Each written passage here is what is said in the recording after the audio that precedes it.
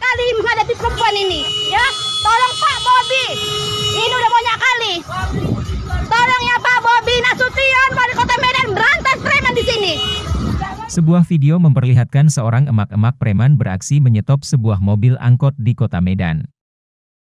Video tersebut diunggah oleh akun Instagram Birunya Rina, Rabu, 23 Maret 2022. Momen tersebut direkam salah seorang warga, sambil meminta tolong wali kota Medan Bobi Nasution untuk menindak ulah dari emak-emak preman tersebut. Menerima pengaduan tersebut Polsek Medan Kota langsung gerak cepat menuju ke TKP.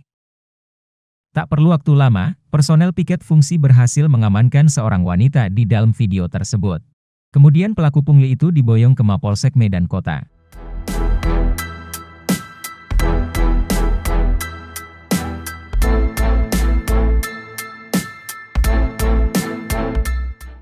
Terima kasih sudah nonton.